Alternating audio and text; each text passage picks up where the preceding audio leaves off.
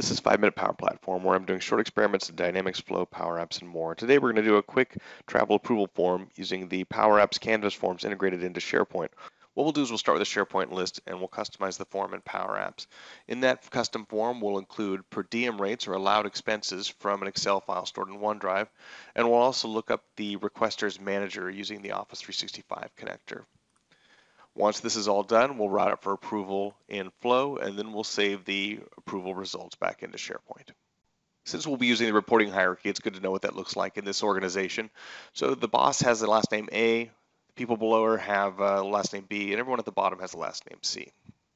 We'll be getting permitted expenses called per diems from this US government-based spreadsheet, and I've modified it slightly to combine city and state and put it in an Excel table format.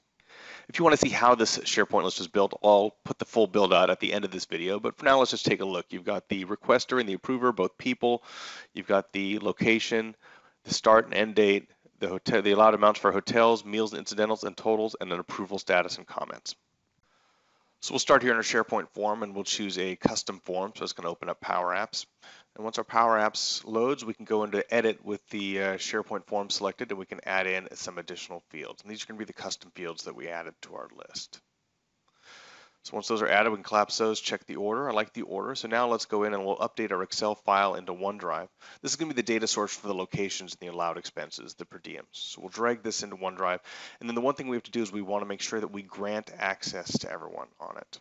And so we'll do that here with grant access. We'll choose everyone and give them read only. Next, we'll go to the View menu in Data Sources, and we'll add our data sources. First, for OneDrive, we'll add in our spreadsheet. There it is, and because I created an Excel table in it, there's our table, connect that. And then next, Office 365 users, and this will allow us to get the requesters managers. We'll select that there, and now that's added as well. So now let's go back to edit the fields. We're going to change the type of card used for location. We're going to change it to a type called allowed values, which is really just a pick list. We're going to rename the pick list to card location values. Uh, that way we can reference it a little more easily than the auto-generated names. And we want to change the items list here. So we need to unlock this card so it allows us to customize it in that way. And then we'll change the item to per diem, and that's going to be our per diem table from Excel that we connected. We're going to change the value to city-state, and so this pick list should now show the city-state values. Let's update the sort on that per diem table so that it sorts by city-state. Now we should be able to see our list there sorted as well. So now we'll move on to the allowed values, the per diem for the hotel and for the meals and incidental expenses. So we'll start by unlocking this field. That'll make it a custom field. That way we can set the display mode. We're going to set the display mode to view, and we'll do that again here. We'll unlock this, and we'll set the display mode to view on the meals and incidental expenses form or field as well. Once that's done, then we can pull the values off of the selected location from our data source in Excel. And so we'll do that. We'll just set the uh, card location value drop down, we'll choose the selected item, and then we'll choose the field for the hotel rate. And then down below too, we'll set the uh, value there. We're just going to copy and paste it from above, and we'll just change the field that we're referencing to. On the fields with, within each of these cards, we're going to format the text so that it shows as currency. So right now it says parent default. We're just going to cut that right out of there, and we'll use the text function to format parent default with a dollar sign number 0.00 format, kind of a standard currency format. We're going to copy this out of this one, and we're going to paste it in the one below, and now they'll both format as currency. So let's start by uh, setting the total to also be read-only. First, we'll unlock that card, and then we'll set the display mode to view. And now let's start populating values down there. So the total should be the difference of the sum of the hotel and the meals per diem times the number of days. So let's copy those values out of meals and hotel. Look, total looks good. So let's cut what we have there, and now let's multiply it by the number of days. We can see the start date is data card value 5, and the end date is data card value 6. So we'll use the date diff function to do the difference in the number of days between those. So data card value 5 selected date and data card value 6 selected date, and that'll give us the number of days. However, we need to add 1 to it because if they're on the same date, date diff will re return 0, and we want it to return 1, and then we'll multiply in what we pasted in there, and that'll be the number of days times the sum of the hotel and meals per diem. So we'll add in our text format there that we stole from the field above, and now that's uh, formatted as currency. So one thing I found is when I hit play on my Power Apps, I would get this no item to display, appears that's when there's no records in SharePoint, you'll get that. So save and publish back to, publish back to SharePoint. And sometimes it can be a good uh, move to refresh your SharePoint site when you come back here too. But then when I click new, I can see my Power Apps, add in my requester. I've got my list loaded from my Excel file. Looks good. And now I've got my first record. When we come back into Power Apps now, we should be able to hit the play button here and get a better representation of how our Power App looks. There we go. Now it's all functioning too. And it's the same value that we saw from the first record. So next we need to set the approver to the requester's manager. So let's unlock this card and we'll set it to view only like we did to the others. And then next we need to be able to go into Office 365 with the through our connection and look up the requester's manager. To set the manager's name, we'll have to set the manager's claims identity. In Office 365, claims identities start with this string here, followed by the user's user principal name, which is usually the same as their email. Now through the Office 365 Users Connector, we can't get the entire claims identity string, but we can get the user principal name. And so we're going to prepend this claims identity prefix uh, to the string that we add. Now we need two, two values in order to set this. We need the display name of the user, and we need their claims identity. So display name is like the first and last name, and their claims identity is like that string above concatenated to their user principal name. Then we'll need to make this a JSON object, so we'll put curly brackets around it. And this is what we're going to use to set the manager's identity to. So for the default value of the approver, we're going to start adding in what we just saw on that, that slide. So curly bracket, a display name, and then we're going to use the Office 365 users connector and use the manager v2 function out of that. That will give us back a display name, but we have to give it as a parameter the person whose manager we want. And from us, that comes from our requester. Data card value 2 is the name of the field here. We want the selected email. So it'll give us the email address of the requester. We'll add in a comma, now we'll do the claims identity. We're going to put in that static string that we saw before, and then we'll append to it then the user principal name using the same function. So the Office 365 Manager, but instead of the display name, we're going to get the user principal name out of it. So this will then set the manager to that value in the SharePoint list. And we can see that Power Apps has already populated that with Betty Bosswoman, my supervisor in this organization.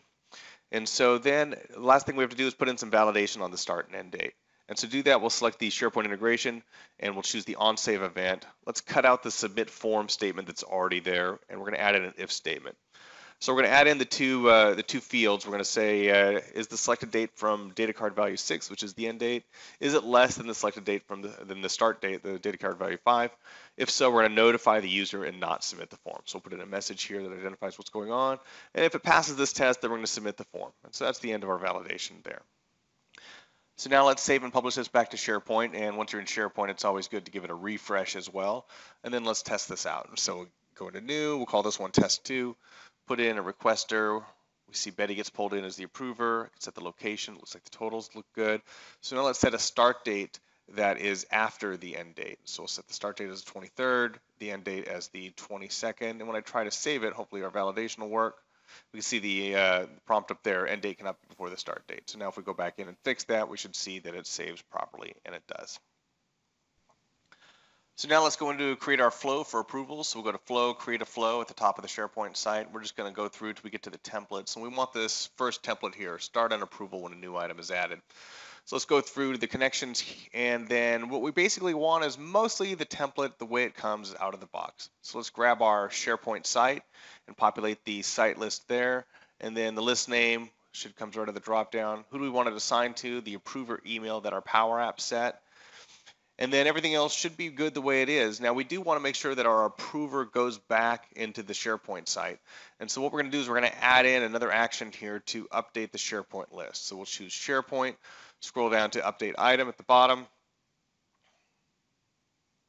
And then we'll populate update by uh, item again with the site address, the list name. The ID is given right there. That's the item that we've been working on. The title is required, so we'll just repopulate the title from the SharePoint item here at the bottom of the list. And then what we're going to do is we'll put in the comments from the approval and the approval status at the bottom. So what we'll do is we'll just use it as a custom value and we'll just bring back the approval response and those match our drop-down list items in SharePoint and the comments from the approval. Now, one thing about uh, the flow approvals is the approver that ends up doesn't have to be the approver that started because they could be rerouted to other approvers. And so what we're going to do is we're going to update SharePoint with the actual identity of the final approver. So if this was forwarded among several approvers, we're going to capture whoever final approved it. So what we'll do is we'll concatenate on that claims token, and then we'll add on the email address of the final approvers, and we'll reset that as the approver claims value back into the SharePoint site.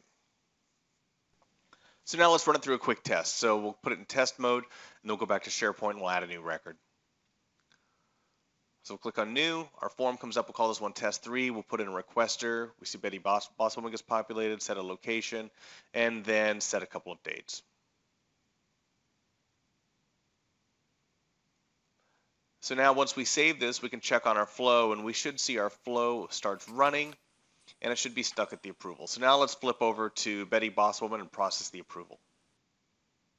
So here we are as Betty Bosswoman. We see the approval, test three. We'll click approve, put in some comments. And now what we're going to do is then we're going to go back to SharePoint and make sure that these comments appear.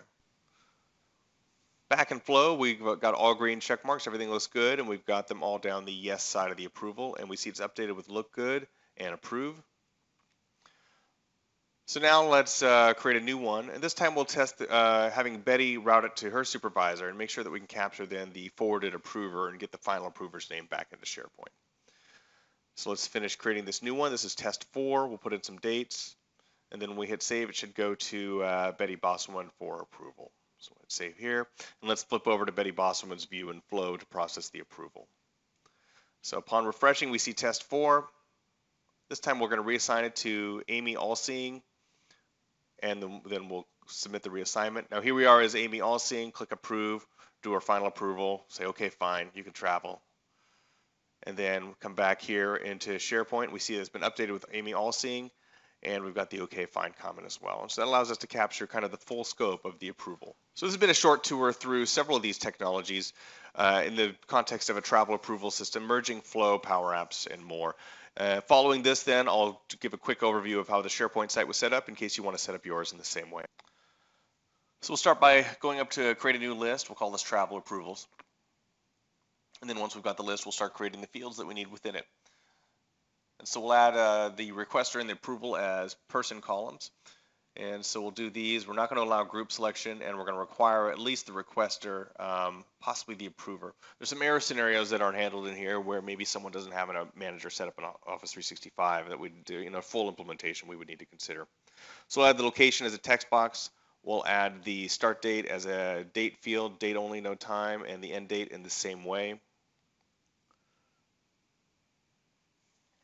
And then we'll add numbers for the uh, allowed Hotel, we'll do those as currencies. And the allowed meals, and then also the total will be a currency value. And then the final two fields are for the approver, both the comments as a single line of text and also for the uh, for the approval result. And we'll do that as a choice. We'll do in approval and we'll default this value to in approval and then approve and reject just so we match what's going to come back from flow approvals.